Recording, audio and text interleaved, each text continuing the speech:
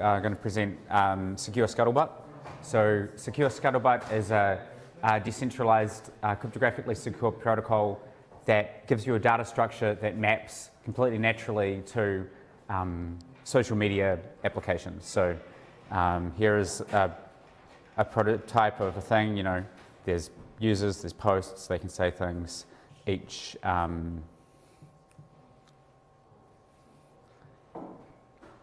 that is, hang on, sorry.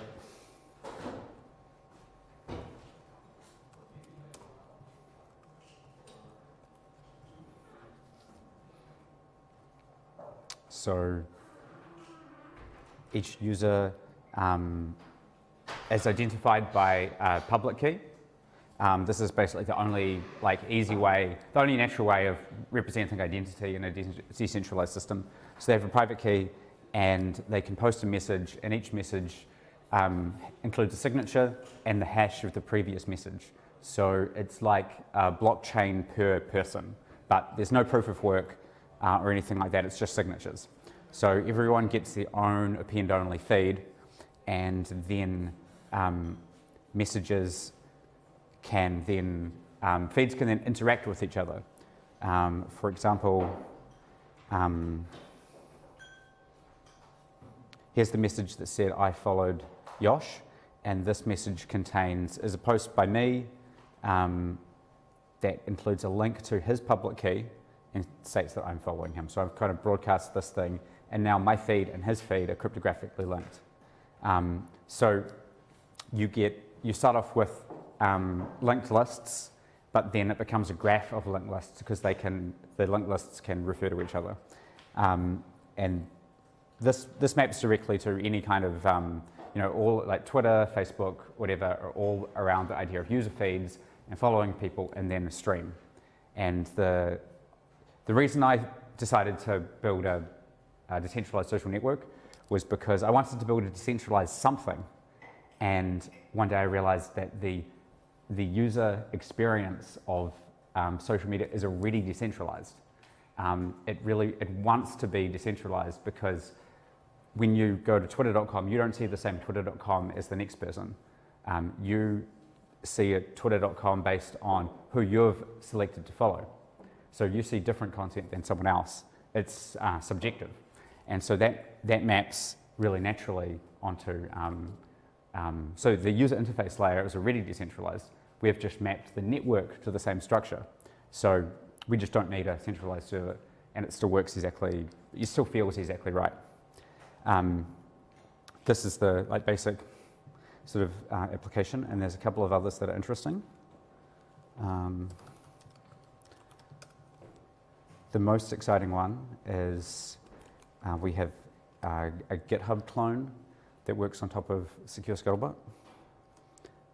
Let me just, uh, yep. So it basically has all the important things that GitHub has.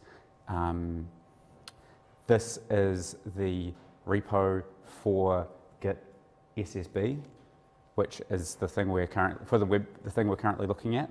Um, we can clone that.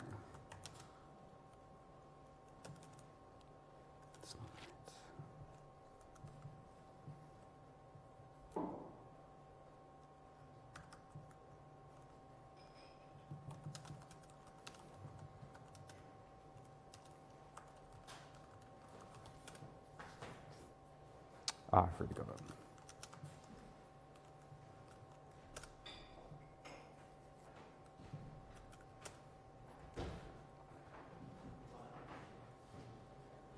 Okay, it's just getting the latest thing. It might, that might take a second.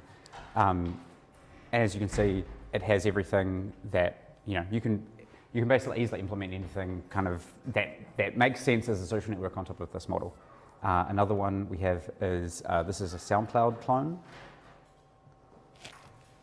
screen's a bit funny. So um, yeah, so people post can post music, um, links to the um, the metadata comes through Secure Scuttlebutt, and then the music comes through um, through uh, WebTorrent. Um, it's very easy to uh, interact to like get one protocol and link to another one because you just need a you know these protocols all have sort of a secure pointer into anything. So um, um, you get a magnet link and that lets you securely identify the torrent you're referring to. Um, those are the basic things. And the, the, the, interesting thing, so at the moment, the internet isn't very good um, here, but it doesn't matter because all of this content here comes, is coming from a database that's on my computer. And because it's so secure scuttlebutt, the uh, name, um, a scuttlebutt is the barrel that today's water rations are stored in on a sailing ship. So it's like a water cooler on a, on a sailing ship. So it has exactly the same connotations of gossip. So secure scuttlebutt is a secure gossip protocol. So unlike insecure gossip, I can talk to you and be like, oh, John said, John said that you smell. But I can't, but with a secure gossip protocol, I can't um, put words in other people's mouth. I can relay things for people, but I can't um, change what they said, um, which well, I think fixes the worst things about gossip. So with secure gossip, it means I can relay, you don't need to get my messages directly from me, you can get them from a mutual friend. And this is really, neat, this is going to be very handy um, in, the, in the zombie apocalypse because all of the national level infrastructure and um, um, oceanic cables and probably will might, might, stop working, but I'll be able to take my laptop from my um, secure anti-zombie fortress and someone, one of my friends can go visit you and your thing and they'll be able to carry the news um, from our base to your base and then replicate stuff over there and it will just naturally work within the, the same design of the user interface. It will just be higher latency, but um, it will still like it, the, the, the interface is basically right. And this is also a good uh, thing for space exploration because if you live on the moon, the round trip time to Earth is one second, um, which is kind of painful if you're doing HTTP because everything is a request and a response. The moon to Earth is kind of like one second is, is livable. There's people that already um, suffer this kind of latency. Um, I grew up on a farm and my parents have um, in New Zealand, my parents have two-way satellite internet, which has one second latency, so it's, it's like living on the moon. But if you lived on Mars, um, it's a 20-minute round trip. So uh, that is going to be that's going to be like um, impossible um, for HTTP. It's just it's like it's not going to be pleasant at all. But with um, this kind of replication async model, it should still pretty much work. Um, so everyone in this, it's kind of like, the other thing is it, is it doesn't have, there's no global structure. You don't need to have all of the database in the, all of the data in the universe. And that's a very good thing for, for things like communication because like with email, um, you put a lot of the effort in email goes to not having all of the email. Um, people just spam all the time and you don't want to have all of the emails in the universe putting all of the emails on the blockchain would be a terrible, terrible idea. Um, you only want to have the good emails. And um, a, a, follow model um, like Twitter is basically a what I call solicited spam. So you follow the people that you are willing to receive anything from. And then whatever they post, you deserve to get it.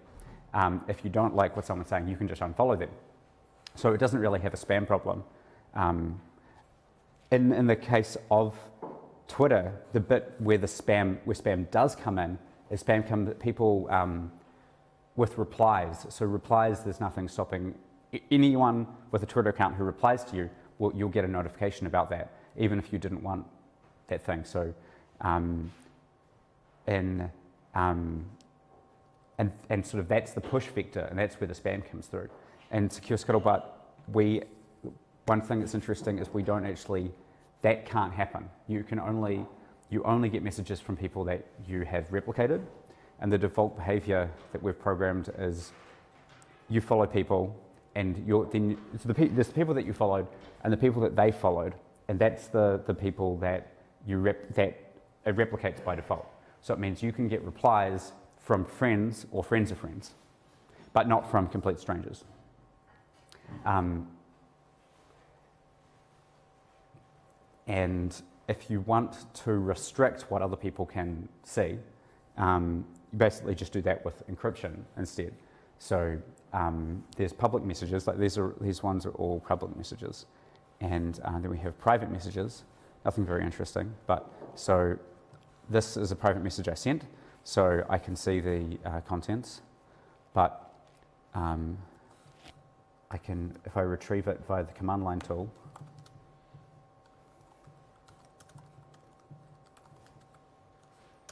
um, the, you'll see the plain text, or the ciphertext of the message, which is um, opaquely encrypted. Um, it still has a signature and it still has my public key on it.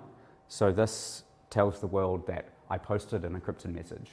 However, um, if this message wasn't for you, you're not able to decrypt it. And um, so notice there's no to field at all. So whenever one see, someone sees a private message, they attempt to decrypt it. And if, if it succeeds, it's because the message was for them. If they failed, it's because it wasn't for them. So the only way you can find out if a message is for you or not is by successfully decrypting it. Um, and this means that you can't tell who is actually talking to who, um, because any encrypted message could be for anyone in the network. Um, and also, you can uh, encrypted message can be for multiple recipients, and it just um, encrypts has starts with multiple keys. So there's a key, and there's a key, and there's a key, and you just try to decrypt it um, like multiple times. You just you just you try to decrypt it the maximum amount of times, which is eight. Um, you go through and decrypt things. If nothing opens, um, the message wasn't for you.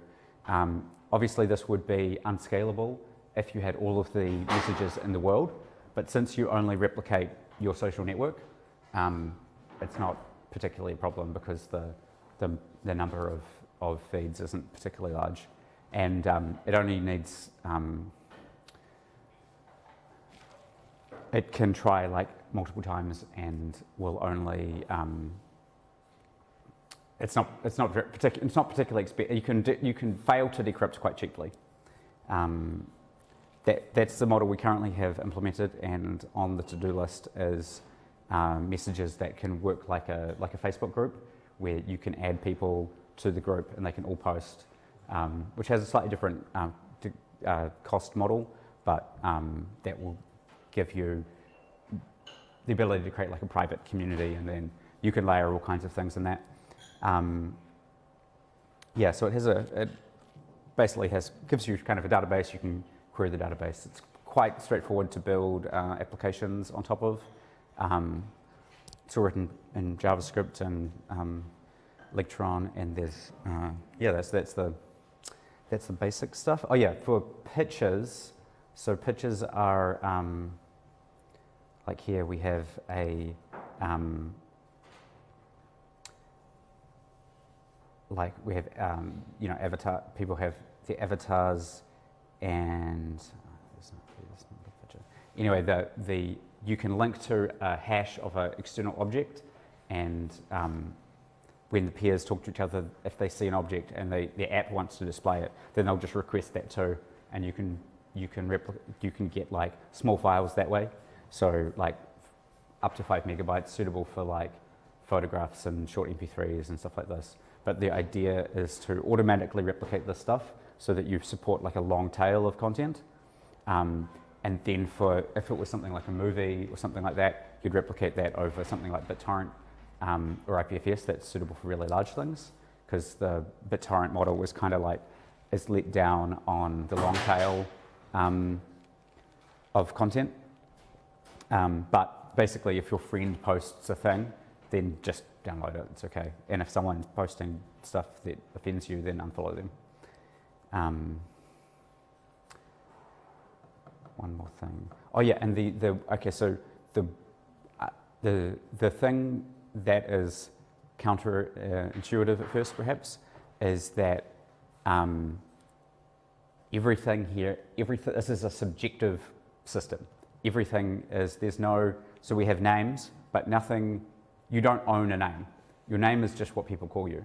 So it's a pet name system, and you can just change someone's name. Um, Um, so I could, I could just change Yosh's name to Poohface, um, and that would then be permanently on my, my record that I called him Poohface. I'm not going to do that, but I could. Um, if he pissed me off, I could do that. Um, and then whenever you, whenever you mention someone in a message, um, let me find an example. It basically creates a cryptographic, or it, log, creates a, a log that, there's someone just mentioned someone. Okay, so here's, here's one where I've mentioned a git, uh, a repo. So the percent means that this is a message. So I've named this repo SSB sort, which is just one of the internal uh, modules. Um, so now there's like a record that I consider this thing to be called SSB sort. Um, when you mention someone in name, even in a conversation, it basically just creates a record that you call, uh, here we go. Um, here, uh, Susan's posted a message where she uses my public key, links my public key to the name Dominic. So here's a piece of evidence that she calls this thing that she calls this public key Dominic. Um, and that creates like a social proof that that is my name within this community. Um, this means that you can't own a name, but basically this makes this solves the uh, problem if you don't have squatting, and it means you don't need a central authority. And this is what enables it to be like effortlessly um, decentralized. And actually, I think humans adapt to this really naturally because that's what they're used to in everyday life. Is your name is just what your friends call you. Um, in any questions? Um, yeah, what, what if uh, two people are called Dominic? You know? Um, that's okay. So what happens is, um, so that's that's just a user um, experience thing. So I can um, just there's like an auto suggest thing, and then it links to this needs a bit of work. So this is um, this is the main me that you notice. So this is, says that it has been mentioned 885 times, and that was my old key that I lost uh, at some point. So that's um, nobody talks about that one anymore. And here's a other few other ones that I was uh, testing. Um, but you'll basically you see that there's a group consensus for this key. Um, we could improve this with like avatar and they'd show that this one is your friend or that one's some stranger or things like that. Was this showing only your, your circle of friends? Yeah. Yeah.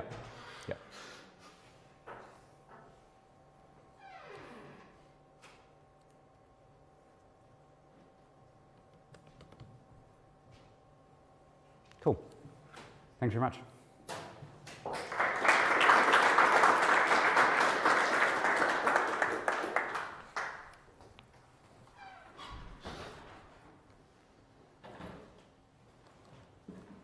Oh, uh, one thing, sorry. Um,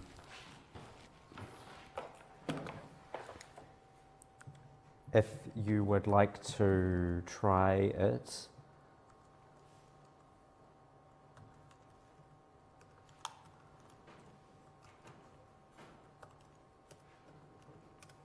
um,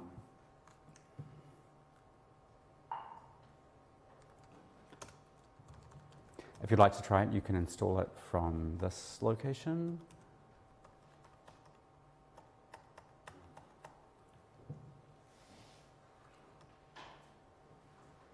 And it works on um, Mac, on Linux, and on Windows. Um, and you can use this public, this um, invite code to join the network. Um,